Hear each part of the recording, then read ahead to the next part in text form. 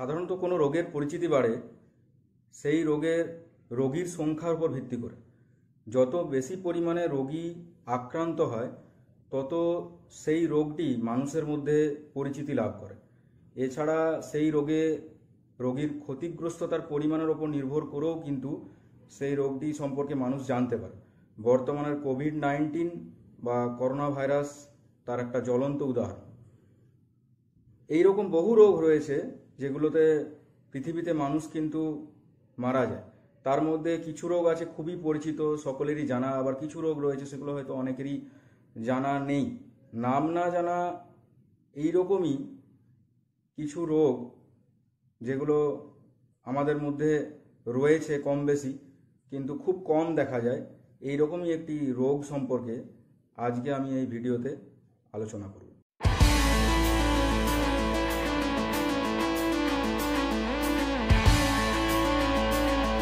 আজ যে বংশগত রোগটি নিয়ে কথা বলব, তার নাম হলো হিমোফিলিয়া। প্রথমেই আমাদের জানতে হবে যে এই হিমোফিলিয়া আসলে কি। এই হিমোফিলিয়া শব্দটি এসেছে দুটি গ্রিক শব্দ, হাইমা এবং ফিলিয়া হতে।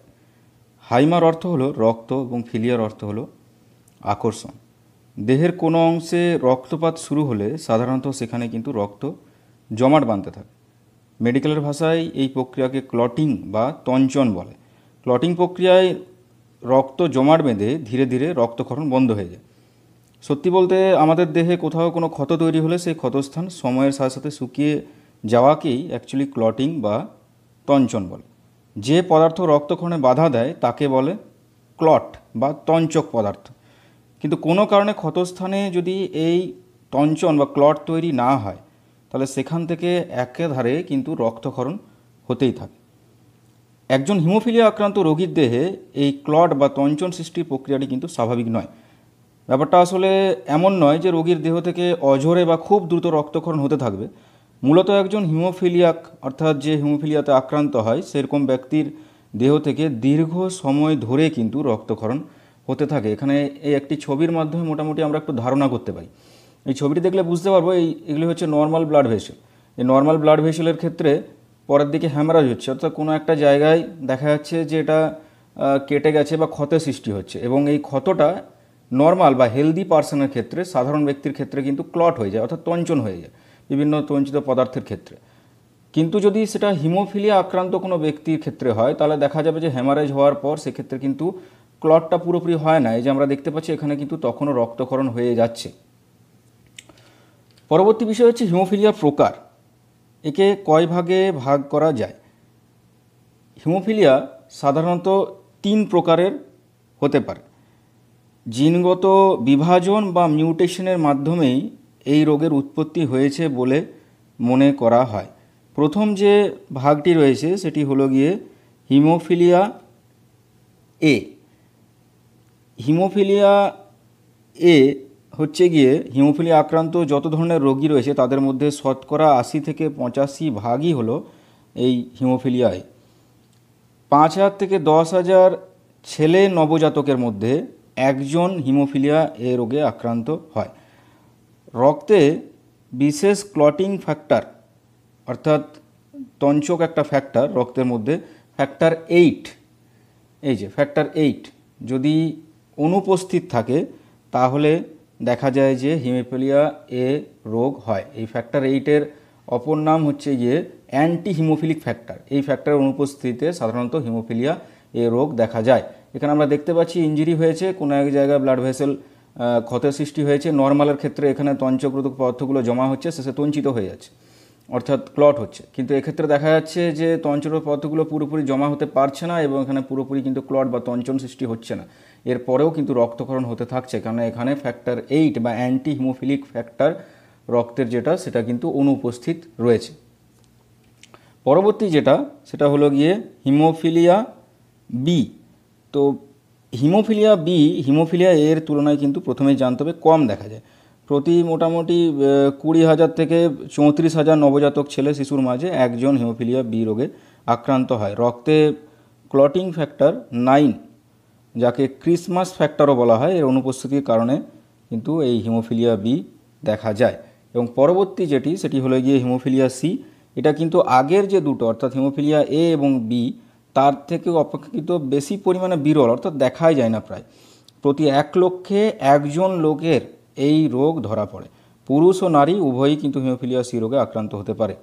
রক্তে তঞ্চক ফ্যাক্টর ইলেভেন অর্থাৎ এগারো নম্বর যে রক্তের ফ্যাক্টর সেটা যদি অনুপস্থিতি হয়, যার অপর নাম হচ্ছে গিয়ে প্লাজমা থম্বোপ্লাস্টিন অ্যান্টিসিডেন্ট। এর যদি অনুপস্থিতি হয়, তাহলে হিমোফিলিয়া সি রোগ হতে পারে। এখানে একটা পুরো চার্টের মাধ্যমে আমরা পুরো বিষয়টা একবার বুঝে নিতে পারি। এক্ষেত্রে কোনো তঞ্চনের জন্য দেখা যায় যে পুরো যে বিষয়টা, এই পথটা, সেটা দুটো পথে সম্পন্ন হয়। একটাকে বলা হচ্ছে কি ইন্ট্রিনসিক পাথওয়ে অপরটাকে বলছে এক্সট্রিনসিক পাথওয়ে আমাদের এক্সট্রিনসিক পাথওয়েটা জানার বিষয় না আমাদের ইন্ট্রিনসিক পাথওয়েটাই জানার বিষয় এক্ষেত্রে হিমোফিলিয়ার ক্ষেত্রে। এক্ষেত্রে আমরা দেখতে পাচ্ছি যে কোনো একটা জায়গা ড্যামেজ সারফেস ড্যামেজ হয়ে যাওয়ার পর প্রথমেই আমাদের যে রক্ত রক্ততঞ্চনা ফ্যাক্টরটা অ্যাক্টিভেট হয়, সেটা হলো গিয়ে ফ্যাক্টর টুয়েলভ এবং এই ফ্যাক্টর টুয়েলভ থেকে, এই ফ্যাক্টর টুয়েলভই কিন্তু টুয়েলভ এতে রূপান্তরিত হয়ে গিয়ে সে ফ্যাক্টর ইলেভেনকে অ্যাক্টিভেট করে, অর্থাৎ সক্রিয় করে। এবার কোনো কারণে যদি ফ্যাক্টর ইলেভেন অনুপস্থিত থাকে, তাহলে এই রক্ত রক্তসঞ্চালন প্রক্রিয়াটা আর আগে এগোয়ই না। অর্থাৎ সে কিন্তু হিমোফিলিয়া সি রোগে আক্রান্ত হচ্ছে সেই ব্যক্তি। আবার অপর ক্ষেত্রে যদি দেখা যায় যে এই ইলেভেন ফ্যাক্টর রয়েছে, কিন্তু ফ্যাক্টর নাইন নেই, তাহলে আমরা দেখতে পাচ্ছি এখানে ফ্যাক্টর ইলেভেন ফ্যাক্টর নাইনকে অ্যাক্টিভেট করে। তাহলে এর অনুপস্থিত কারণে এই রক্তসঞ্চন প্রক্রিয়া আগে এগোতে পারে না, যার ফলে তার হিমোফিলিয়া বি রোগ হয়। একই রকমভাবে এই দেখতে পাচ্ছি এখানে ফ্যাক্টর নাইন নাইন এতে রূপান্তরিত হয়ে ফ্যাক্টর এইট এর সহায়তায় ফ্যাক্টর টেনকে সক্রিয় করে। তো যদি ফ্যাক্টর এইটে অনুপস্থিত থাকে, তাহলে ফ্যাক্টর টেন সক্রিয় হবে না, ফলে পুরো প্রক্রিয়াটা এখানে কিন্তু বিঘ্নিত হবে। অর্থাৎ সেই ব্যক্তির রক্ত জমাট বাঁধতে পারবে না, তাহলে সে কিন্তু হিমোফিলিয়া এতে আক্রান্ত হবে। পরবর্তী বিষয় হচ্ছে হিমোফিলিয়া কেন হয়? কি কারণে হিমোফিলিয়া দেখা যায়? তো প্রথমেই বলে রাখি যে হিমোফিলিয়া হওয়াটা কিন্তু একটা হচ্ছে গিয়ে সেক্স লিঙ্ক রিসেসিভ ডিসঅর্ডার। এক্ষেত্রেও দেখা যায় যে পুরুষরা কিন্তু মহিলাদের থেকে বেশি পরিমাণে আক্রান্ত হয়। পুরুষরা মহিলাদের থেকে বেশি পরিমাণে কেন আক্রান্ত হয় এই বিষয়টা জানার জন্য আমি বলব অবশ্যই বর্ণান্ধতার যে দুটো ভিডিও আমি আগে তৈরি করছি, সেই দুটো ভিডিও, এই ভিডিওর ওপরে যে আই লিঙ্ক আছে, সেই আই, আয়ে ক্লিক করে তোমরা বা ডেসক্রিপশন থেকেও সেই ভিডিওগুলো একবার দেখে নিও। তাহলে তোমাদের এই ধারণাটা জন্মে। আমি, জন্মাবে, আমি আর এই ভিডিওতে এই বিষয়টা নিয়ে আলোচনা করছি না। কীভাবে ছড়ায় সেই বিষয়টা নিয়ে বলি। এটা যেহেতু এক্সট্রিং রিসেসিভ ডিসঅর্ডার বুঝতেই পারছ যে এটার বাহক কিন্তু একমাত্র মহিলারাই হতে পারে আর পুরুষরা সরাসরি কিন্তু আক্রান্ত হয়। এক্ষেত্রে আমরা দেখতে পাচ্ছি যে একজন আনএফেক্টেড ফাদার অর্থাৎ যার হিমোফিলিয়া আক্রান্ত নয়, এরকম একজন বাবা এবং একজন মা যে হিমোফিলিয়া আক্রান্ত বাইরের থেকে নয়, অর্থাৎ স্বাভাবিক কিন্তু হিমোফিলিয়ার বাহক। তাদের যদি বিবাহ হয়, তাহলে সেক্ষেত্রে তাদের সন্তান উৎপাদন কী কী প্রকারে হতে পারে? এই ক্রসটা দেখলে আমরা ক্লিয়ার বুঝতে পারব। এই যে ক্ষেত্রে বাবা পুরোপুরি আনএফেক্টেড মা এখানে স্বাভাবিক কিন্তু বাহক। এই যে এটার মাধ্যমে এই ধরনের যে কালারটা, এই হাফ কালারের মাধ্যমে সেটাই বোঝাতে যায় তো এক্ষেত্রে ক্রস হলে আমরা দেখতে পাবো এই এক্সের সঙ্গে এক্স মিললে ডাবল এক্স যেটা পাওয়া যাবে সেটা কিন্তু সুস্থ, একটা স্বাভাবিক মেয়ে উৎপাদন হবে। পরের দিকে এই এক্সের সঙ্গে এই এক্স মিললে একটা কিন্তু এই মায়ের ন্যায়েরই স্বাভাবিক কিন্তু বাহক মেয়ে উৎপাদন হবে। এবং অপর দিকে এই ওয়াইয়ের সঙ্গে এই এক্স মিলিত হলে দেখা যাবে যে একটি স্বাভাবিক ছেলে উৎপন্ন হচ্ছে এবং আবার একটি এক্সের সঙ্গে ওয়াই মিলিত হলে দেখা যাবে একটি হিমোফিলিক ছেলেও উৎপাদিত হচ্ছে।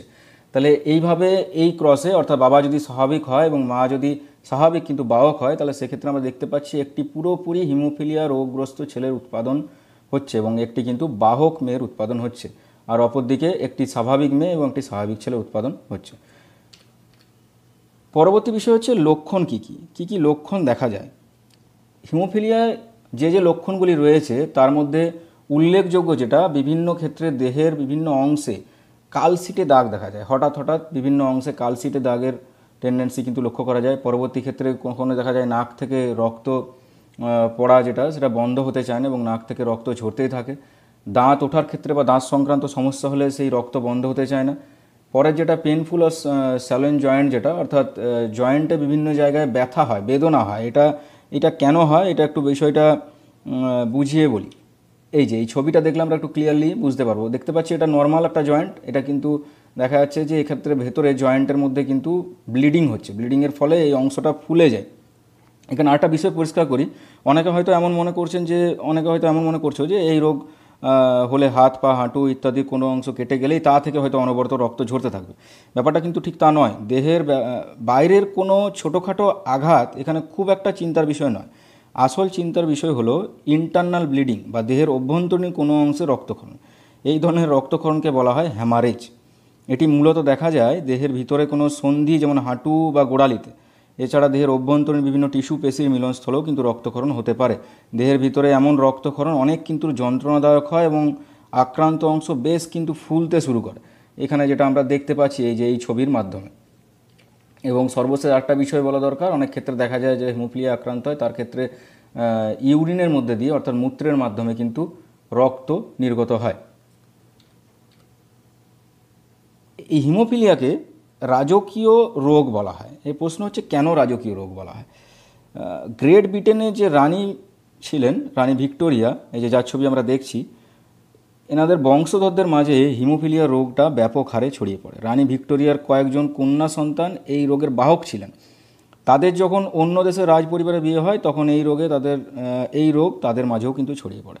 এই কারণেই এই হিমোফিলিয়া রোগটি রাজকীয় রোগ নামে পরিচিতি লাভ করে। ব্রিটিশ রাজ পরিবারে প্রথম হিমোফিলিয়া রোগের আবির্ভাব ঘটে রানী ভিক্টোরিয়ার পুত্র প্রিন্স লিওপার্ডের মাধ্যমে। এই যে যে ছবিটা আমরা দেখছি যে দেখতে পাচ্ছি আমরা চেয়ারে বসে আছে যিনি। ইনি হচ্ছে প্রিন্স লিওপার্ড। এর আগে আর আশেপাশে রানীর অন্যান্য বংশধররা দাঁড়িয়ে আছেন, বাকিদের দুজন। এর আগে এই রাজ পরিবারের কারও মাঝে কিন্তু এমন রোগ দেখা যায়নি। আঠারোশো তিপ্পান্ন সালের সাতই এপ্রিল প্রিন্স লিওপার্ড জন্মগ্রহণ করেন। তিনি ছিলেন রানী ভিক্টোরিয়া ও প্রিন্স অ্যালবার্টের অষ্টম সন্তান। এই রোগটি রানী পূর্বসূরিদের কারও মাঝেই কিন্তু আগে দেখা যায়নি। তাছাড়া রানী অন্যান্য ভাই, বোন এবং তাদের সন্তানদের মাঝেও এই রোগ দেখা যায়নি। প্রিন্স অ্যালবার্টের মাঝেও এই রোগের কোনো লক্ষণ ছিল না। তাই ধারণা করা হয় রানী ভিক্টোরিয়া কিংবা তার মায়ের থেকে মিউটেশনের মাধ্যমেই কিন্তু এই রোগের সৃষ্টি হয়েছে। রানীর সমস্ত বংশধরদের একটা এই যে চার্ট, এই চার্টটা যদি আমরা একটু ফলো করি, দেখি, তাহলে বুঝতে পারো এক নজরে ইউরোপের রাজ পরিবারগুলোতে হিমোফিলিয়া কীভাবে ছড়িয়েছিল। এটা তার একটা পেডিগ্রি চার্ট এবং এই যে ছবিটা আমরা দেখছি, এটা হচ্ছে গিয়ে রানীর সমস্ত বংশধরদের একটা প্রতীকী চিত্র আর কি। নেক্সট হচ্ছে কি হিমোফিলিয়ার কী কী পরীক্ষা রয়েছে? হিমোফিলিয়া কী কী পরীক্ষার মাধ্যমে এটাকে নির্ণয় করা সম্ভব হতে পারে? প্রথম যেটা হিমোফিলিয়া স্ক্রিনিং টেস্ট যে স্ক্রিনিং টেস্টগুলো এখানে আমরা দেখতে পাচ্ছি complete blood count CBC activate activated partial thromboplastin time APTT test prothrombin time PT test এবং ফাইব্রিনোজেন টেস্ট এগুলো এখন বর্তমানে চলে এসছে। এই টেস্টগুলো করলে হিমোফিলিয়া সম্পর্কে কিন্তু বা হিমোফিলিয়া হয়েছে কিনা সেটা কিন্তু অনেকটাই জানা সম্ভব। ক্লটিং ফ্যাক্টরের টেস্ট করলেও জানা সম্ভব। Factor eight factor nine factor eleven এগুলো টেস্ট করলে হিমোফিলিয়া এ বি সি প্রত্যেক সম্পর্কেই, সবগুলো সম্পর্কেই জানা সম্ভব। এছাড়া parent prenatal testing for haemophilia অর্থাৎ গর্ভস্থ সন্তানের ক্ষেত্রেও কিন্তু হিমোফিলিয়া টেস্ট করা সম্ভব। সেই টেস্টগুলো হচ্ছে গিয়ে দুই ধরনের হতে পারে, একটা কোরিয়নিক ভিলাস স্যাম্পলিং সিভিএস এবং ফিটাল ব্লাড স্যাম্পলিং এগুলো করলে আগের থেকে জানা সম্ভব। সেক্ষেত্রে ঠিক মতো ডিসিশন নেওয়া যায়, পরবর্তী ক্ষেত্রে বাচ্চার ক্ষেত্রে। নেক্সট যেটা চিকিৎসা। চিকিৎসা কী কী রয়েছে? না হিমোফিলিয়ার সত্যি কথা বলতে স্থায়ী কোনো চিকিৎসা নেই, তবে সিরাপথে ইঞ্জেকশনের মাধ্যমে যে ফ্যাক্টরগুলোর অভাব রয়েছে, সেগুলোকে শরীরে প্রবেশ করানো কিন্তু মূল চিকিৎসা। রক্তক্ষরণের কারণে অস্থিসন্ধিতে সমস্যা দেখা দিলে অনেক সময় ফিজিওথেরাপিও নেওয়া যেতে পারে। নিয়মিত চিকিৎসা নিলে সাবধানতার সঙ্গে জীবনযাপন করলে দীর্ঘদিন পর্যন্ত কিন্তু স্বাভাবিকভাবে জীবনযাপন করা সম্ভব। এছাড়া বর্তমানে এখন জিন থেরাপির সাহায্যেও এই হিমোফিলিয়া চিকিৎসা বিভিন্ন দিক উঠে এসেছে এবং সেগুলো নিয়েও চিকিৎসা করা হচ্ছে কিন্তু এটা যথেষ্ট অর্থবহুল, সকলে কিন্তু এটা অ্যাফোর্ড করতে পারে না। সর্বশেষ আটটা বিষয় একটু জানিয়ে রাখি, সেটা হচ্ছে গিয়ে অনেকেরই হয়তো জানা আমার অনেকে হয়তো জানা নেই, প্রতি বছর এপ্রিলের সতেরো তারিখে বিশ্ব হিমোফিলিয়া দিবস পালন করা হয় এবং এই দিনটিকে বিশ্ব হিমোফিলিয়া দিবস বলা হয়। এর সাথে সাথে শেষ কথা হিসেবে বলে রাখি কতগুলো বিষয়। এটা হচ্ছে রক্তক্ষরণজনিত নানা রোগের প্রাদুর্ভাব, কিন্তু সেই প্রাচীনকাল থেকেই লেগে আছে। রক্ত সম্পর্কে তৎকালীন মানুষের ধারণা অনেক কম ছিল। ব্রিটিশ রাজ পরিবারে যখন প্রথম এই রোগের সম্পর্কে জানা যায়, তখন চিকিৎসা পদ্ধতি ততটা উন্নত ছিল না। উনিশশো চার সালে প্রথম রক্তের প্লাজমা আবিষ্কৃত হয়, এরপর আবিষ্কৃত হতে থাকে নানা প্লাজমা প্রোটিন, সেগুলো অনুপস্থিতির কারণে মূলত হিমোফিলিয়া রোগ দেখা দিতে পারে। বংশগত রোগ হওয়ার কারণে এই রোগ সম্পূর্ণভাবে প্রতিরোধ করার তেমন কোনো উপায় নেই, তবে চিকিৎসা পদ্ধতি উত্তরোত্তর উন্নতির ফলে এখন এই রোগের আধুনিক চিকিৎসা প্রক্রিয়া শুরু হয়েছে। রক্ত পরীক্ষার মাধ্যমে এখন দ্রুত হিমোফিলিয়া রোগটি শনাক্ত করে প্রয়োজনীয় ব্যবস্থা নেওয়াও সম্ভব। আরও বেশ কয়েক বছর আগে এমন চিকিৎসা সুবিধা থাকলে হয়তো রোগটা, এভাবে রাজকীয় রোগের হয়তো খেতাব অর্জন করতো না। আর তার সঙ্গে সঙ্গে একটা বিষয় বলে রাখি যে, হিমোফিলিয়া রোগীদের কিন্তু বিশেষ কিছু সাবধানতা মেনে চলতে হয়। যেমন শরীরে আঘাত লাগতে পারে, এমন কোনো ঝুঁকিপূর্ণ কাজে অংশগ্রহণ না করা, সরাসরি মাংসের মধ্যে মাসেলে ইঞ্জেকশন না নেওয়া, যে কোনো ধরনের অস্ত্রোপচারের পর রক্তরোগ বিশেষজ্ঞের পরামর্শ নেওয়া, ব্যথানাশক ঔষধ বা রক্ত তরল করে এমন কোনো ঔষধ, যেমন উদাহরণস্বরূপ অ্যাসপিরিন বলা যায়, না খাওয়া ইত্যাদি। সচেতন হলে এই রোগে মৃত্যুর ঝুঁকি অনেকখানি কিন্তু কমে যায়। তাই হিমোফিলিয়া সম্পর্কে সবার সচেতন থাকাটা কিন্তু একান্তই জরুরি। সর্বশেষে এইটার সঙ্গে রিলেটেড টাস্ক ছাত্রছাত্রীদের জন্য তোমরা অবশ্যই চেষ্টা করো এই টাস্কটি করার। আর আশা করি সকলকে হিমোফিলিয়া সংক্রান্ত বিষয়বস্তুটি বোঝাতে পেরেছি। যদি ভিডিওটি ভালো লেগে থাকে, তাহলে অবশ্যই লাইক করো। চ্যানেলে এরকমই ভিডিও পেতে চ্যানেলটিকে সাবস্ক্রাইব করো। যথাসম্ভব কমেন্ট এবং শেয়ার করো। প্রত্যেকে ভালো থেকো, সুস্থ থেকো। ধন্যবাদ।